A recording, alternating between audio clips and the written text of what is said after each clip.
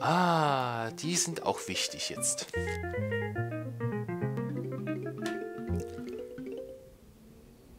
Sehr wichtig sogar. Stachelkraut zersticht Reifen und verletzt Zombies, die drauftreten. Hm. Was auch immer ein Stachelkraut ist. Aber ich würde es mal so sagen. Das Leben als Fußabtreter ist nicht leicht. Hm. Muss sich da auch blöd fühlen, wenn jeder ständig auf einem herumtritt. So, Pflanzen. Stachelkraut. Stachelkraut zersticht Reifen, ja, das kennen wir schon. Alle Zombies, die drauftreten, nicht. So. Falls ihr euch fragt, was jetzt passiert ist, ich habe es zum Glück rechtzeitig bemerkt. Ich habe jetzt noch ein wenig im Lexikon halt herumgeblättert, habe die nächste Mission angefangen, wie ihr es hier seht. Und dann habe ich erstmal unten gemerkt, ach du Scheiße, die Aufnahme läuft nicht mehr. Zum Glück habe ich nur ein, zwei Minuten versäumt, also fast, wir haben, wir haben so gut wie nichts verpasst. Aber wir lesen das nochmal und die Festplatte war halt voll. Ich habe ein bisschen Platz schaffen können, für die Mission reicht es eventuell noch. Aber holen wir das mal nach, was wir verpasst haben.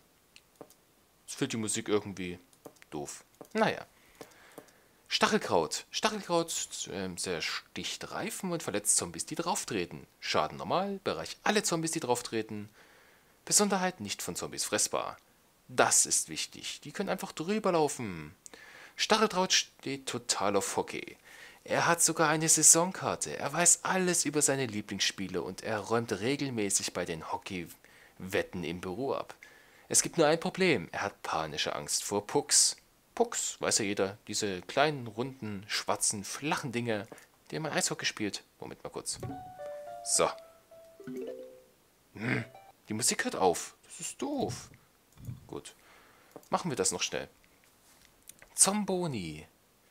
Äh, wisst ihr was? Das machen wir beim nächsten Mal, wenn Musik dabei ist. Ohne Musik ist es doof vorzulesen, finde ich. Ihr seht, was für, für eine Aufstellung wir genommen haben. Ist jetzt blöd, das jetzt euch im Nachhinein zu erklären. Ähm, Kartoffel, wir haben die, der Stachelkraut mitgenommen und dafür haben wir, na, was haben wir da gelassen? Die Walnuss. Genau, ich glaube, das kam auch nicht mit auf die Aufnahme drauf. Falls sich jemand fragt, ob... Ist das eigentlich Zufall, dass jetzt immer gerade dort kommt? Hm. Naja, also, falls sich jemand fragt, ob so eine Walnuss diesen Wagen auffällt, der kommt und das Bob-Team dahinter. Leider nicht. Leider nein. Denn das Ding fährt einfach über die Walnuss drüber. Boah, habe ich viel Geld. Verdammt, ich habe das toll ver verpennt. Viel Sonnen, nicht Geld. Hier Sonnen. Bumm.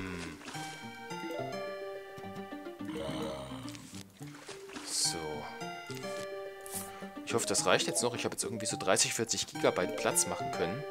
Das reicht nur so vielleicht für 20, 30 Minuten, für 20, 25 Minuten. Ich hoffe, das reicht, um das zu machen und noch das durchzulesen, was wir versäumt haben.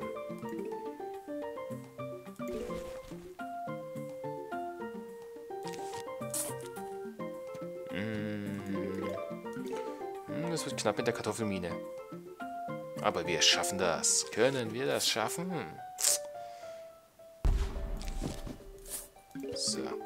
Machen wir es dafür ganz hinten. Da hat genug Zeit, um aufzuladen. Für alle Fälle.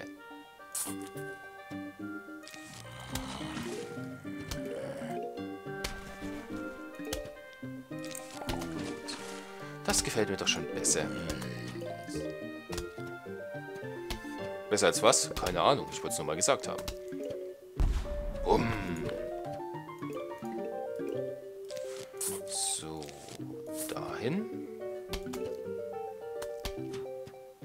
Und sonst habt ihr auch nichts verpasst. Von Deppy Dave kam, glaube ich, nichts. Nein, müsste nichts gekommen sein. Von daher, ruhig, Blut, liebe Kameraden. So, ah, nicht mehr Sonnenblumen. Um Gottes Willen bin ich wahnsinnig. ja, also nicht ja zum Wahnsinnig, aber yeah, es läuft glaube, hier waren keine Tauchzombies dabei, oder? Ihr habt es leider nicht gesehen, oder? Habt ihr es gesehen vielleicht noch kurz, wo ich Lexikon geöffnet habe, was an Gegnern kommt? Ich glaube, da waren keine Tauchzombies dabei. Falls ihr euch wundert, warum ich das jetzt so schnell vergessen habe alles. Ähm, ich war jetzt so ein bisschen 10 Minuten auf dem Desktop beschäftigt, ähm, um zu gucken, wo ich jetzt noch Platz schaffen kann für die Aufnahme. Weil so mittendrin abzubrechen ist schon irgendwie doof.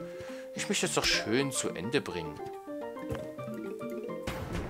Eine riesige Welle von Zombies. Oh nö, kommt schon, Leute. Können wir nicht einfach Freunde sein? Es gibt doch bestimmt andere Gehirne.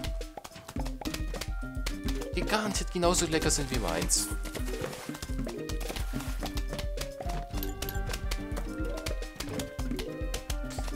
Fällt bloß gerade niemand ein, den ich nicht leiden kann, den ich dann gleich mal spontan nennen könnte. Deppy Dave, aber da ist doch nichts zu holen. Und den mag ich eigentlich. Ist auf so eine Weise crazy.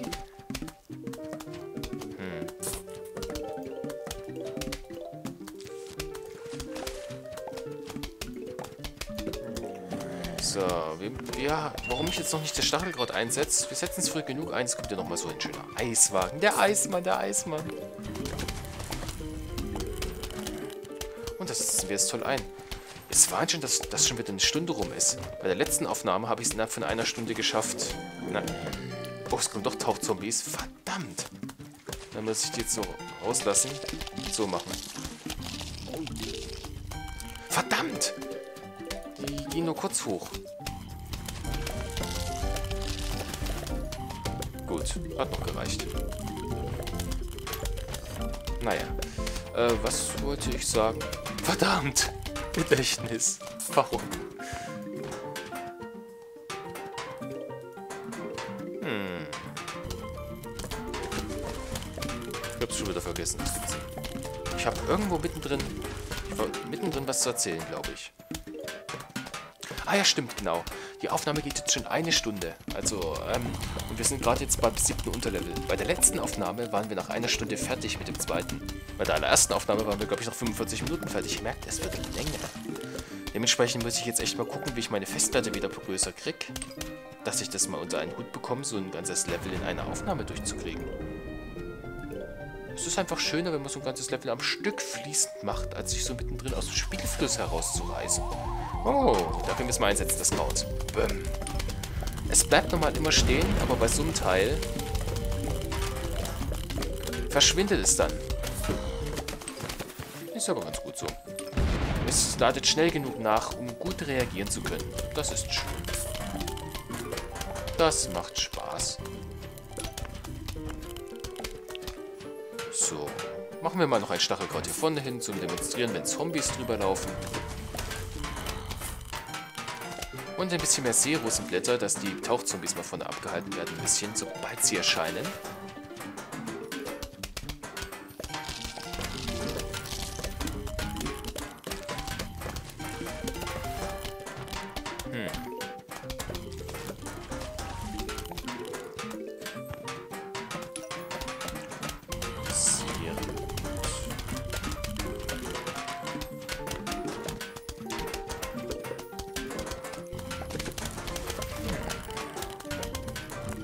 Können eigentlich davon jetzt mal noch so eins hinsetzen.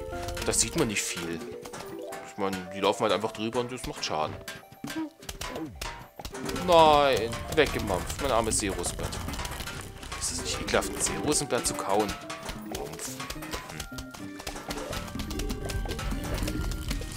Hm. Nein, ich würde es doch davon hin. Egal. Man will ja nicht zu perfektionistisch sein, was? Ich hab grad die Maus verloren. ich hab die Maus mit den Augen verloren. So was muss erstmal vorkommen. Na, Fuebs spinnt heute aber echt rum. Das ist Wahnsinn. Das ist echt wegen dem Platz wahrscheinlich.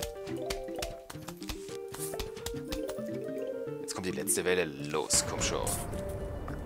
Komm her. Ich habe keine Angst. Das ist die perfekte Welle. Bumm. Reifen kaputt. Tut mir leid. Du kannst auch nicht zu Carglass gehen. Gibt es übrigens noch mehr Leute, denen die Carglass-Werbung eine Zeit lang so richtig auf den Zeiger gegangen ist. Wo jeder zweite Werbespot war, Carglass repariert, Carglass schaut, äh, tauscht aus. Schaltet mal das Radio an. K-Glas repariert, K-Glas tauscht aus. Läuft am Wahlplak äh, äh, irgendeinem Werbeplakat vorbei. K-Glas repariert. Und was ist denn das? Eine neue Pflanze. Das Zunderholz. Hahaha. Mal reingeworfen. Gespoilert bin ich böse. Erbsen, die hindurchfliegen, werden zu Feuerbällen. Einerseits richtig geil, andererseits macht es unsere Hagelzuckererbse unnütz. Wenn da gefrorene Erbsen drüber fliegen, werden die nämlich normal. Aber gut. Bevor wir weitermachen, genau, Hauptmenü. Vorstadtlexikon Laden gibt's auch. Aber erstmal die Pflanzen nochmal. Den haben wir schon. Auch ohne Musik vorgelesen, schade, aber gut. Zunderholz. Ich halte jetzt die ganze Zeit die Zahl, äh, Auge auf die Zahl noch mit. Erbsen, die durch Zunderholz fliegen, ja, genau, äh, werden zu Feuerbällen, die doppelt so viel Schaden verursachen. Verdoppelt den Schaden zu Erbsen. Feuerbälle verletzen, was, verletzen beim Aufbau in der Nähe befindliche Zombies. Das mit den Eis, äh, steht nicht mit dabei. Das kriegt man so als Tipp mit reingeworfen irgendwann. Oder man findet das selbst heraus. Aber die werden zu normalen Erbsen und dann sind die schon fast unnütz. Deswegen müssen wir die davor platzieren. Das ist schon ziemlich wichtig dann bei der Positionierung. Alle mögen und respektieren Zunderholz wegen seiner Integrität und weil er die Wirkung von Erbsen maximiert. Er hat aber ein Geheimnis. Er kann nicht lesen. Und ich habe das die ganzen Jahre nicht bemerkt. die kommen jetzt demnächst. Jetzt, ja, ihr seht es tatsächlich. Ihr seht es schon richtig, was, denn da, was der in der Hand hat. Also zuerst Zomboni. Er traktiert Pflanzen mit Eis und Dampf. Hat sogar so einen kleinen Gärer da unten.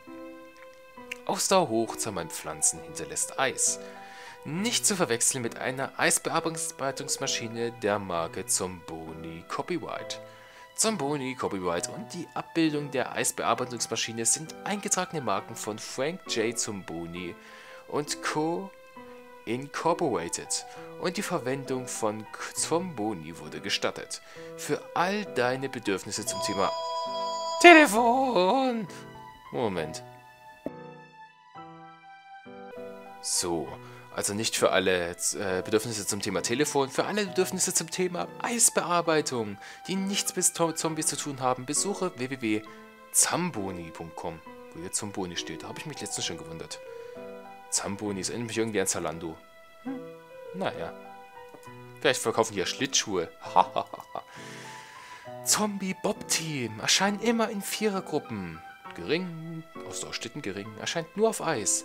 Das Zombie Bob Team hat hart für den Erfolg geschuftet. Es lebt zusammen, frisst Gehirne zusammen und bildet eine verschworene Zombie-Einheit. Nicht schlecht. Gibt es auch die Jama jamaikanische Version von? Ihr wisst ja, auf welchen Film das bezogen ist. Gut, das muss reichen, 3.8. Mehr will meine Festplatte nicht. Auch wenn ich eigentlich Lust habe noch weiter. Ich wollte eigentlich bis 4 machen. Ich bin gerade voll im Fluss drin. Aber gut. Da darf ich mich aufs nächste Mal freuen. Und ich danke euch natürlich mal wieder fürs Zusehen. Und bis zum nächsten Mal, wo mir wahrscheinlich hoffentlich dann auch mein verschollenes Thema einfällt. Und ja, wie gesagt, bis zum nächsten Mal. Bye, bye.